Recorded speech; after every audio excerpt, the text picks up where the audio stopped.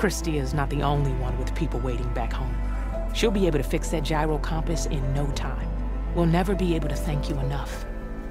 But this should be a start. If you need anything, tell Bohai to contact Alva. I'm sure she can help. May the ancestors steer us true. Gotta brace myself against this wind. First, We need to put this thing together.